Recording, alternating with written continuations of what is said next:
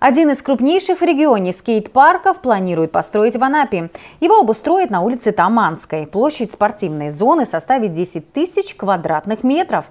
На ее территории появятся различные фигуры для всех возрастов и уровней подготовки. Большинство из них выполнят из бетона, исключив необходимость ремонта и замены деревянных конструкций. Об этом сообщает пресс-служба администрации Анапы. Я напоминаю, что партнер выпуска – ресторан «Отель Беладжо». Все лучшее в одном месте. Ресторанно-гостиничный комплекс «Беладжо». К вашим услугам роскошный банкетный зал на 240 человек, европейская и кавказская кухня, радушие и гостеприимство. Все это ждет вас в «Беладжо». «Беладжо» — это место, куда хочется возвращаться вновь и вновь. Анапа, улица Ленина, 216.